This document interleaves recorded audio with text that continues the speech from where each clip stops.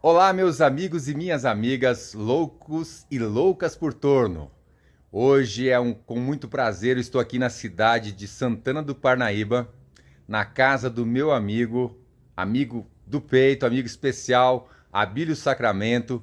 E nós estamos com a galera aqui, inclusive Marco Pim, tá aqui o Jô, que é meu genro, tá aqui também o filho André, do, do Marco Pim e a gente vai fazer para vocês aí passo a passo como fazer uma caneta tinteiro.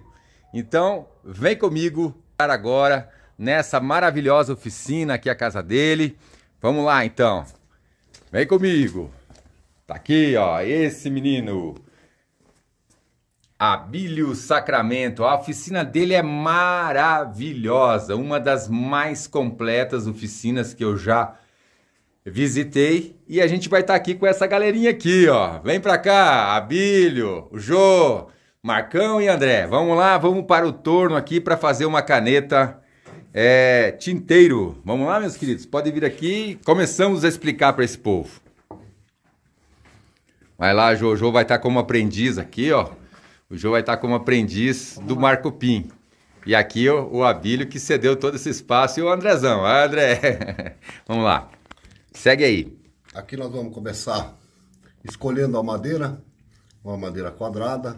Nesse caso aqui é uma madeira especial, uma colagem de bambu, feita pelo nosso amigo Abílio. É, o Abílio é especialista tá. nisso. Aí nós vamos pegar o kit da caneta, onde vem os tubos de latão. Sim.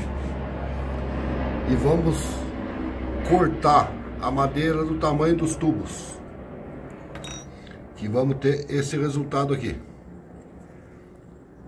Um tubo e uma madeirinha para a tampa. Um tubo e uma madeira para o corpo da caneta.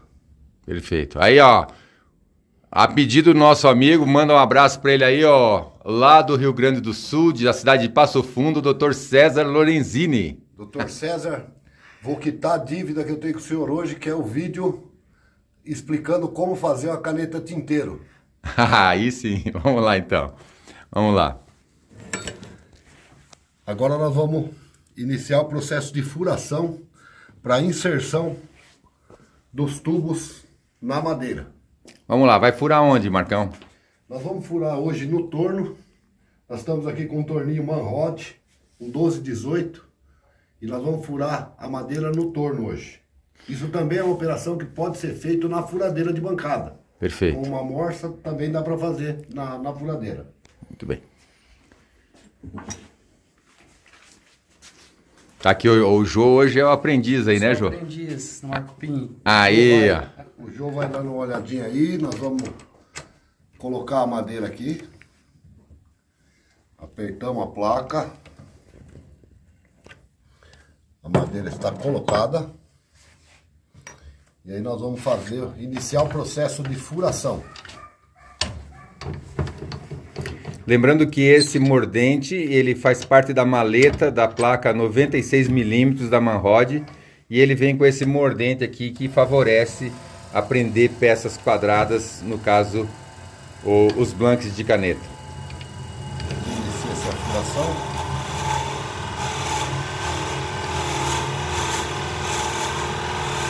Nós estamos furando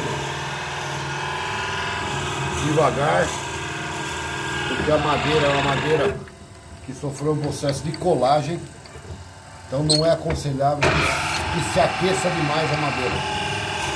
Perfeito. Lembrando, talvez, alguém podia perguntar assim, mas por que essa broca chata para fazer um furo seria melhor com uma broca tradicional de aço rápido? É que tem que ser na medida do tubo. Não adianta eu ter um tubo maior ou menor que a broca.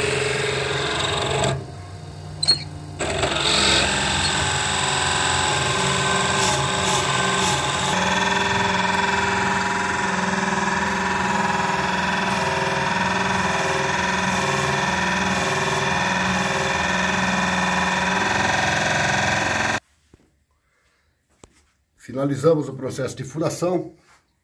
Esse é o corpo da caneta. Então, está furado para inserção do tubo para posterior colagem. Qual que é o ideal? O tamanho da broca deve ser quanto a mais do que o furo? A densidade da madeira varia, e isso varia um pouquinho, mas é comum a gente usar 2 a 3 décimos é, maior a broca do que o diâmetro do tubo. Perfeito. Isso é suficiente para que deixe uma camada da cola instantânea e segure o tubo dentro da madeira. Agora nós vamos iniciar o processo de furação da tampa da caneta. Essa caneta tinteiro tem uma característica um pouco diferente de algumas outras, por exemplo da Slimline. Essa caneta ela tem, o corpo é um diâmetro e a, a tampa é um diâmetro maior. Então nós temos sempre duas madeiras com furações diferentes. Então agora nós vamos fazer a furação, onde vamos alojar o tubo que vai fazer a tampa da caneta. O João vai fazer as vezes aqui. Hoje eu tô, tô de aprendiz com três professores aí na, na marcenaria. Minha primeira vez hoje no torno. Valeu, vamos lá, João.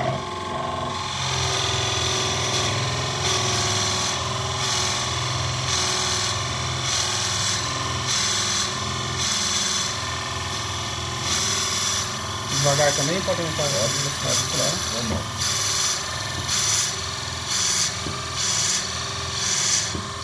nós temos um curso pequeno, se chegar no final a gente volta, recolhe e antecipa para cá. Uhum. Puxa primeiro. Isso, recolhe, exatamente. Aí, o máximo aí. Agora volta, trava e prossegue a pressão.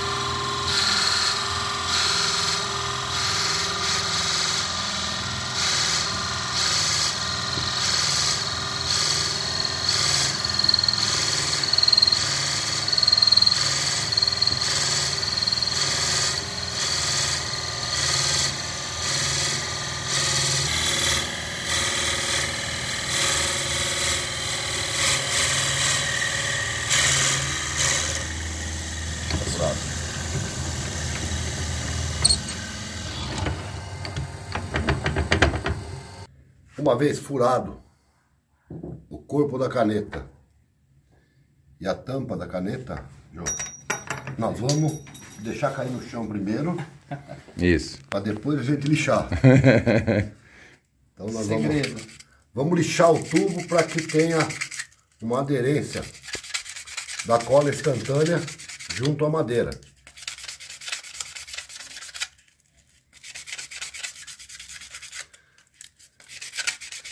Esse lixamento é só para criar riscos no tubo, para que a cola possa ser armazenada nesses riscos aí, fica uma película entre o tubo e a madeira, tá?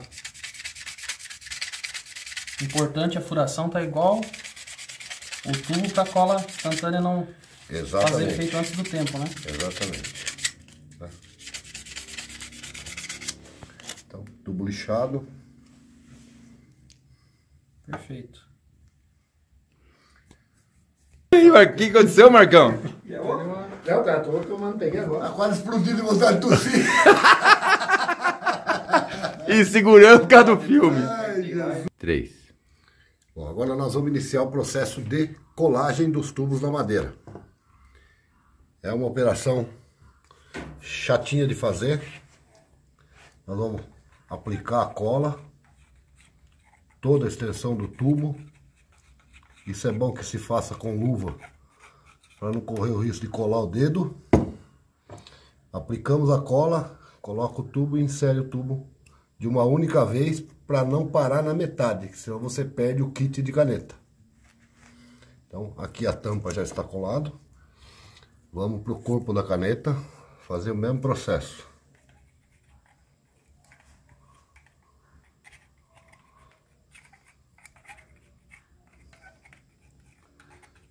Bem embebedado de cola.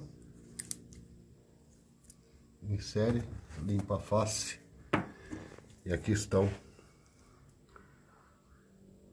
Agora nós vamos para uma operação que é uma operação fundamental para que você tenha o esquadro perfeito da caneta e na hora da montagem você tenha um acabamento perfeito da caneta. Toda vez que você for Antes de colocar no torno, no mandril, para tornear uhum. a caneta, tem essa fresa com essa haste, onde nós vamos fazer a fresagem da face, chegando até no tubo, sem certo. tirar material do tubo, para que a gente tenha o esquadro perfeito, perfeito. da caneta.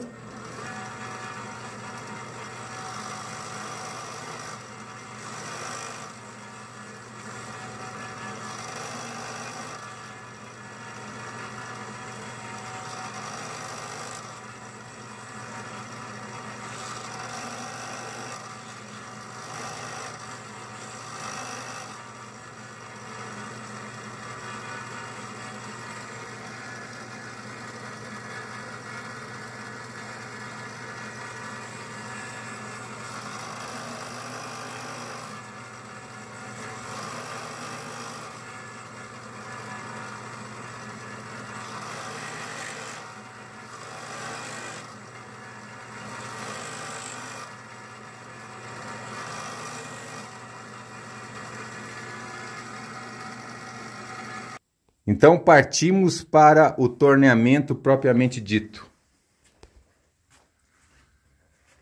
No torneamento, nesse caso, aqui tem uma, um detalhezinho legal. Nós vamos fazer esta caneta com uma bucha universal, ou seja, uma buchinha que a gente usa para qualquer kit de caneta.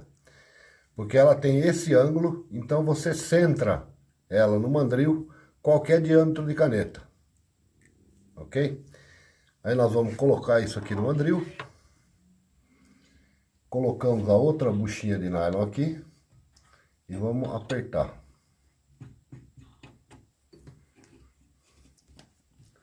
Como a bucha é de nylon, não há necessidade de muita pressão.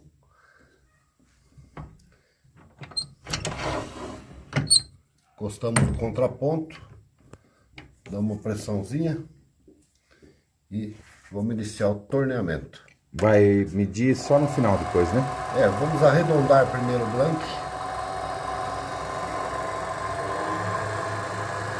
Aí agora eu vou, o Jô, você vai ver aqui, nós vamos iniciar o processo.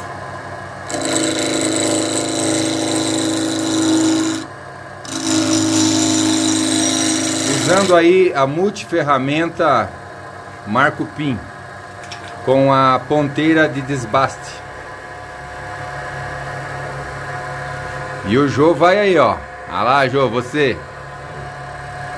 Você tira o dedo daqui de baixo e deixa a ferramenta apoiada no suporte. Você só coordena aqui a curva com aquela mão e segura com essa. E acha o corte.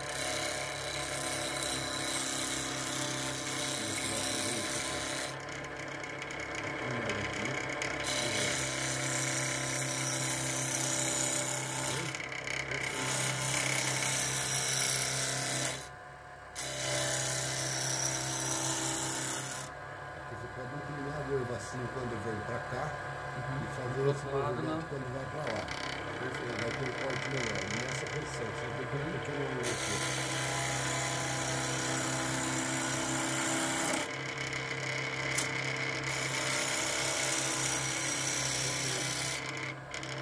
Vai até arredondar que depois nós vamos fazer a medida da caneta. Perfeito.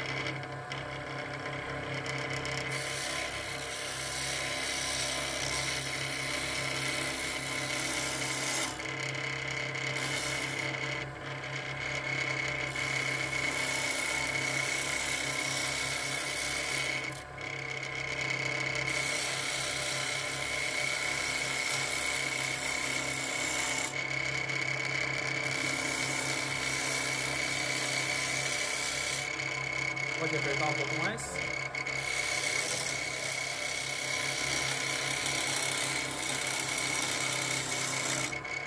Eu estou segurando firme, fazendo apoiada no suporte para não dar essa vibração.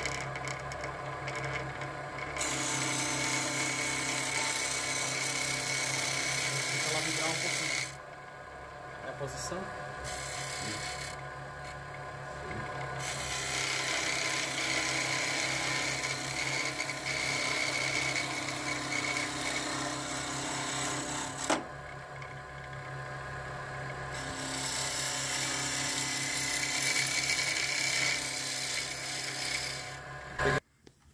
Como eu disse no início do torneamento, essas buchas são universais. Então ela não tem aqui o diâmetro de referência do acabamento da caneta. Então nós precisamos medir a caneta. Então aqui nós vamos ter, neste lado, nós vamos ter 15,2.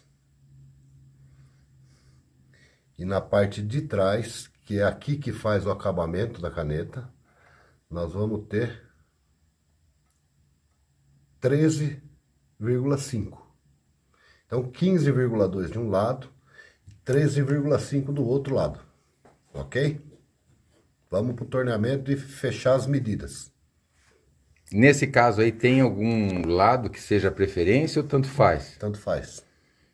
Então eu até poderia escolher o 15 aqui, porque esse aqui é mais alto, poderia escolher o 15 aqui e 3, e o 13 aqui nessa que é mais baixa. Ok. Beleza.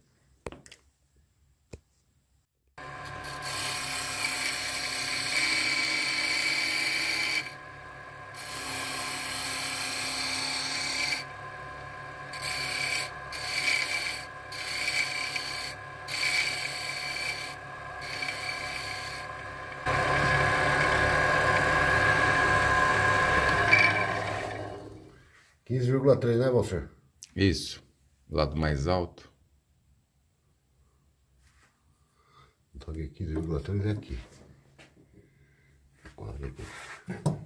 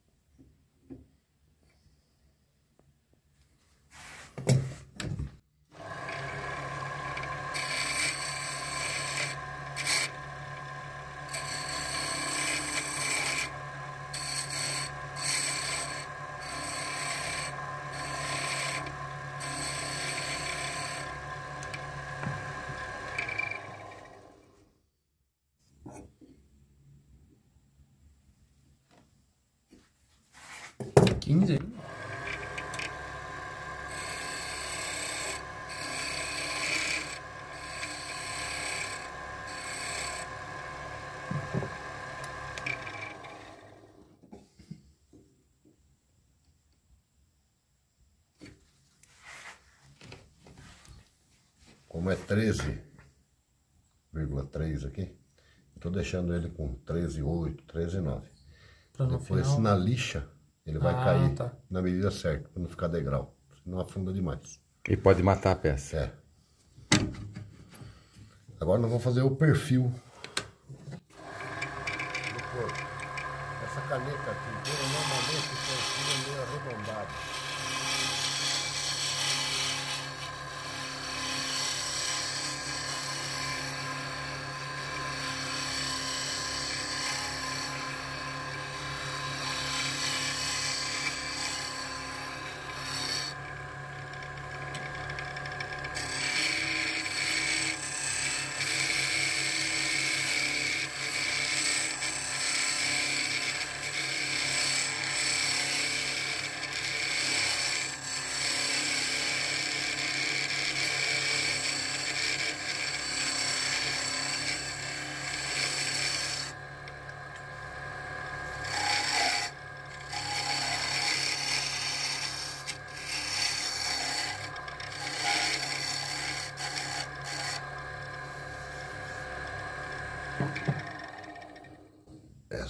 Pra lixa agora. Tá aí a, o lixamento então. Aqui como ficou muito bem é, passado somente com a goiva, inicia com uma lixa 220, vai fazer 320 e 400. Provavelmente será o suficiente para é, resolver a questão.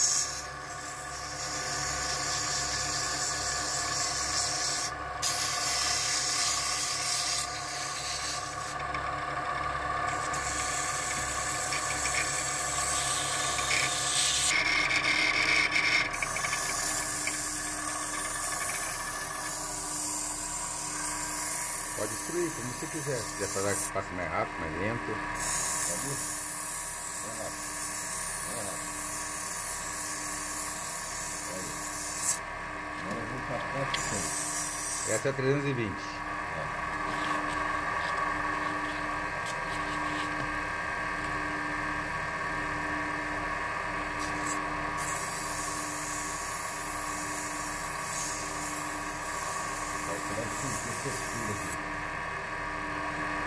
Eu já sinto uma.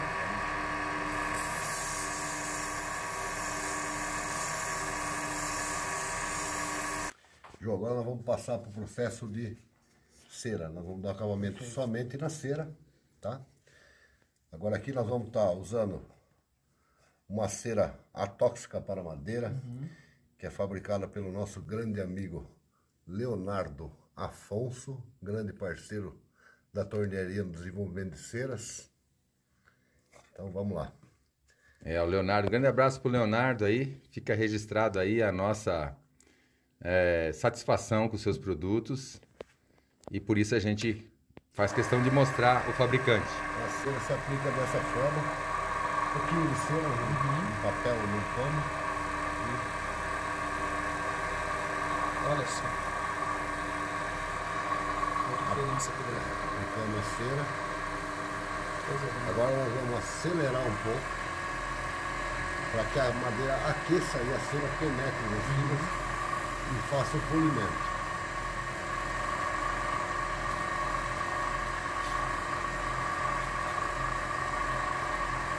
O aquecimento, né, pelo processo de fricção, acaba abrindo os poros e favorece a penetração da cera na madeira.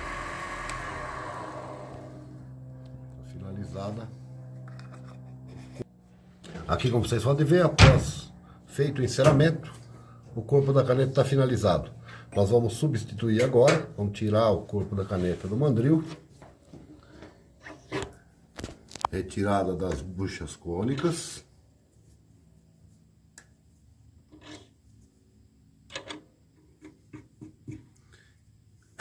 E aqui nós temos o corpo da caneta. Como vocês podem ver, a parede de madeira fica muito fina. Aqui já está pronto para iniciar a montagem da parte do corpo da caneta. Aqui agora, já montado no mandril, a parte da tampa da caneta. E nós vamos iniciar a usinagem dela. E aí nós vamos passar para o Ju aqui que para ele já ir treinando. Ok.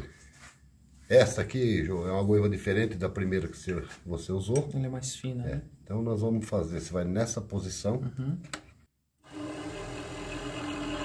Você vai no centro.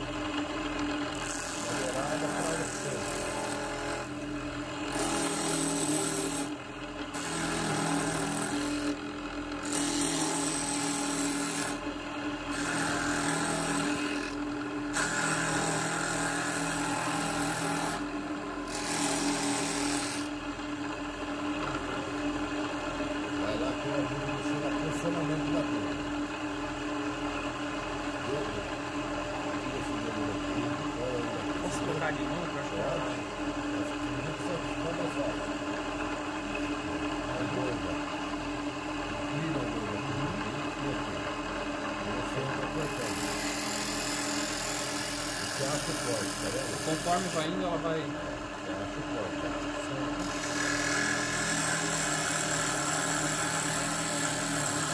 Estamos aí a quantos RPMs? 2.500. 2.500 RPMs. até o meio. Só não pode sair daqui até o final aqui. Vem daqui até o final aqui. Por isso nós de quebrar os campos. Tá. Então entrando dessa forma, empurrando a madeira. Centro você não corre o risco de quebrar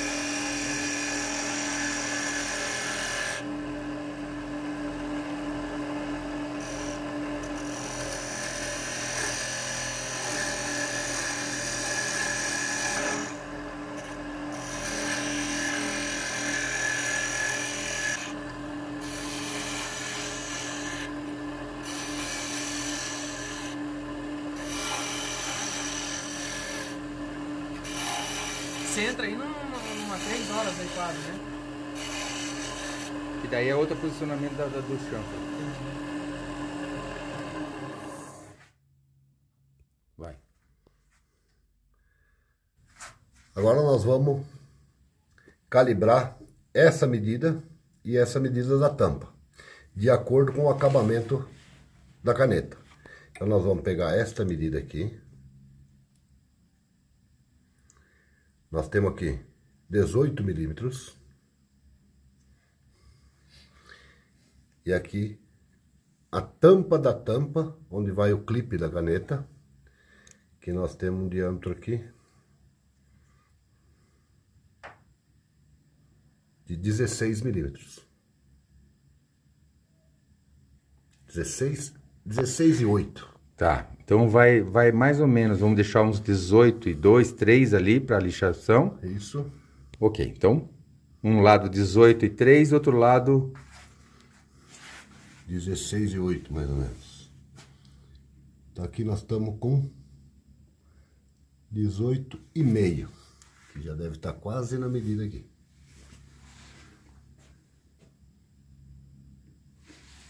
Aqui já está ok.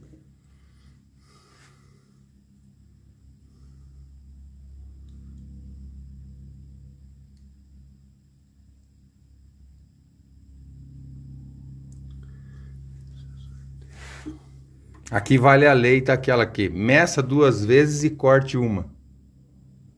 Uma única vez, né? Na dúvida, medir de novo. É sorte, mas as duas medidas já estão muito próximas. Então nós vamos só dar uma abauladinha aqui e a caneta está quase finalizada. Okay.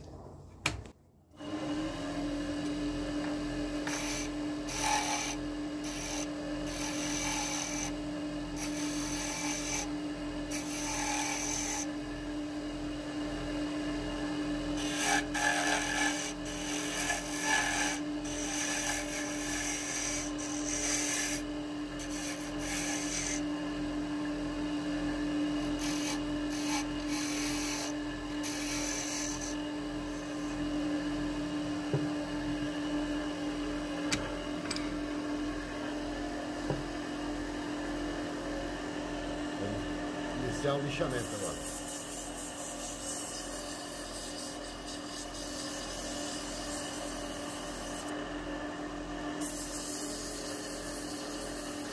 centro da caneta está à esquerda do vídeo, para quem está assistindo.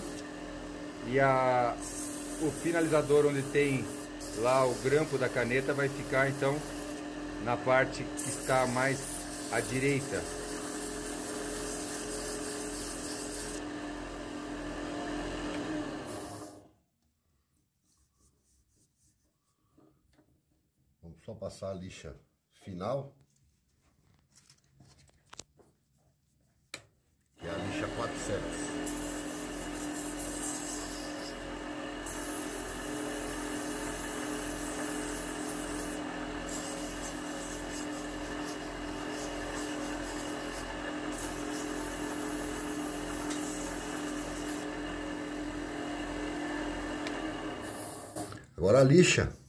também pode esticar a numeração, subir a numeração.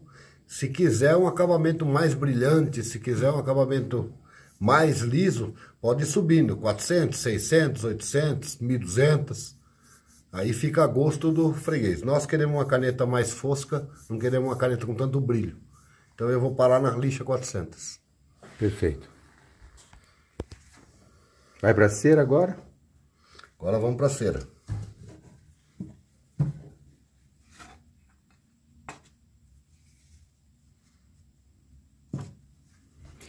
Vai constar na descrição do vídeo, vai constar o nome da cera para que você tenha acesso.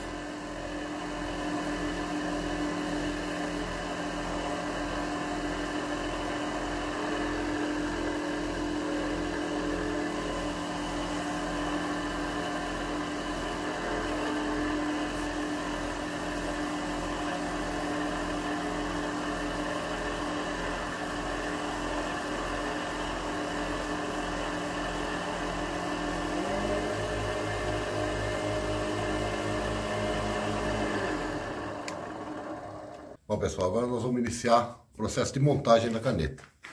É importante, nessas canetas tinteiro, elas têm dimensões diferentes em relação ao acabamento do, do kit. Então é bastante interessante que você posicione, faz, tirando a medida, deixando ela na posição correta para você não, não acontecer de, de prensar o lado errado, é, ou seja, eu vou fazer um parênteses inverter isso. Isso, eu vou fazer um parênteses aqui, Marco Pim. Hum. Às vezes essa roela aqui, né, ela na hora de você tirar do pacotinho, ela sai e você inverte ela. Tem que cuidar muito, né? Você inverteu ela aí, depois você não consegue voltar mais o tubo. Ok, vamos lá. Vamos iniciar o processo de montagem pela tampa.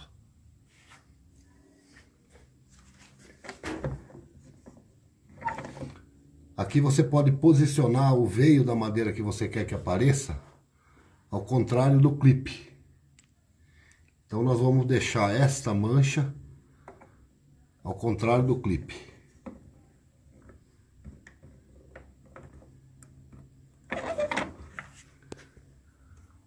Montado a primeira peça. Vamos para este outro lado.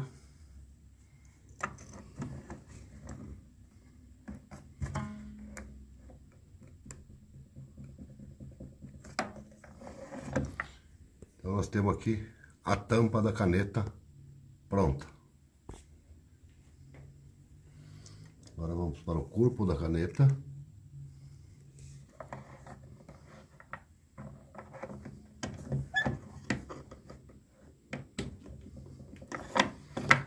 A parte traseira do corpo. Uhum. Aqui na caneta tinteiro, nós temos que remover a pena para fazer a prensagem. Então vai entrar aqui, nós vamos fazer a prensagem.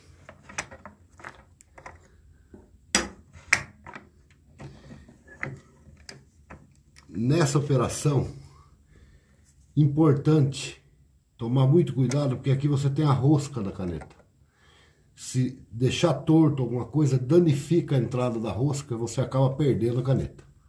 Então, com bastante cuidado, até chegar no limite do acabamento. Agora nós colocamos a pena. E temos a caneta pronta. Agora nós vamos, para que a nossa caneta funcione, nós vamos inserir a carga da caneta tinteiro. Aqui dentro existe um pino como se fosse uma agulha e aqui a carga. Insere aqui, vai apertar aqui até sentir um clique. Aqui está colocada a carga da caneta. Vamos passar a fazer a montagem dela aqui, rosqueamos. A tampa dessa caneta também é rosca. E temos a nossa caneta pronta. Após a carga colocada, vamos testar, ver se o nosso produto funciona.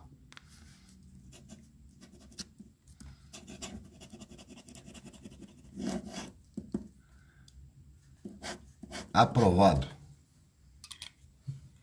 E essa aí então ficou para quem hoje?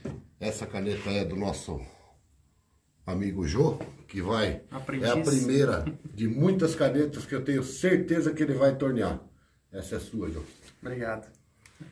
Valeu, Marco Pim, valeu, Jô, e valeu ao Abílio que cedeu todo o espaço aí dessa maravilhosa oficina. Valeu, Abílio!